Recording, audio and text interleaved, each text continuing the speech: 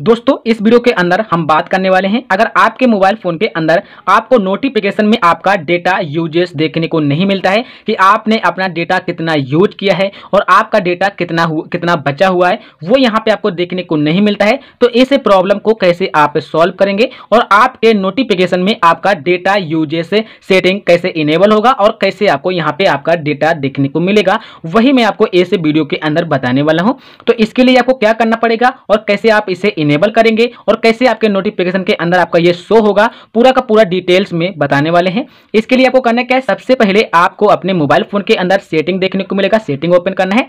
जैसे आप यहाँ पे सेटिंग ओपन करेंगे, आपके सामने इस तरह का सेटिंग निकल के आ जाएगा। अब यहाँ पे आपको करना क्या है, आपको नीचे आना है। जैसे आप नीचे आएँगे, यहाँ पे आपको सर्च कर लेना है, आपको सेट डेटा प्लान सेटिंग यहाँ पे आपको सर्च करना है सेट और उसके बाद यहाँ पे आपको डेटा जैसे आप सेट डेटा और प्लान आप सर्च करेंगे, आपके सामने ये सेटिंग निकल के आ जाएगी। आपको इस पर क्लिक करना है। जैसे आप इस पर क्लिक करेंगे, आपके सामने ये सेटिंग यहाँ पे निकल के आ जाएगी। अब यहाँ पे आपको करना क्या? है नीचे आना है। जैसे आप यहाँ पे नीचे की तरफ़ आते हैं तो यहाँ पे आपको देखने को मिल जाता है डेटा यूज़र्स नोटिफिकेशन एक सेटिंग तो ये आपके मोबाइल फ़ोन के अंदर ऑफ़ होगी। तो आपको इस सेटिंग को यहाँ से इनेबल कर देना है। अगर कोई आप अदर मोबाइल फ़ोन यूज़ करते हैं एमआई का यूज़ नहीं करते हैं तो आपको दूसरी जगह आपका ये सेटिंग मिलेगा। आपको यही सेटिंग मिलेगा इसी नाम तो आपको दूसरी जगह मिलेगा, अपने हिसाब से आप मैनेज कर सकते हैं। जैसे हम आपको दिखाते हैं, अगर मैं इस सेटिंग को यहाँ से बंद कर देता हूँ तो हमारे नोटिफिकेशन में हमारा यहाँ पे डेटा यूजेस से देखने को नहीं मिलेगा कि हमने कितना डेटा आज यूज़ किया है। अगर इस सेटिंग को यहाँ से इनेबल कर देंगे तो यहाँ पे आपको आपका डेटा यूजेस देखने को मिल जाएगा